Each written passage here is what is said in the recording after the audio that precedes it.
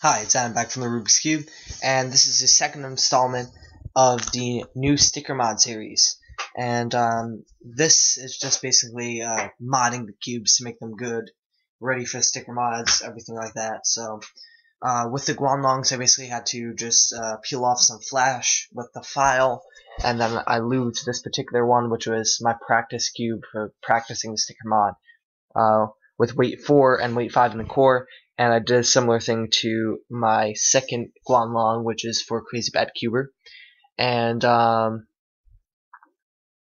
yeah, so after modding these, I just kind of broke them in a little bit, and then my practice cube, I destickered, which I lost the footage for, but it doesn't really matter because it's kind of boring.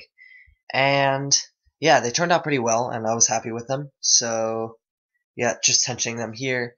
And then the next clip, clip should show the second cube, and me working on that one. And the second cube turned out the better one, which is good. That's the one that's going to Chris Cuber. And um, yeah, that's pretty much it. So the third part, uh, basically showing the final product of the cube and like the process for building it, shouldn't be out for a while. And the reason for that is because I want it to be a surprise. I want you guys to see it from CBC instead of from me.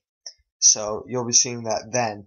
And yep, until then, just enjoy this footage, and hopefully you'll see the sticker mod on Crazy Bad Cuber's channel soon. Thanks for watching.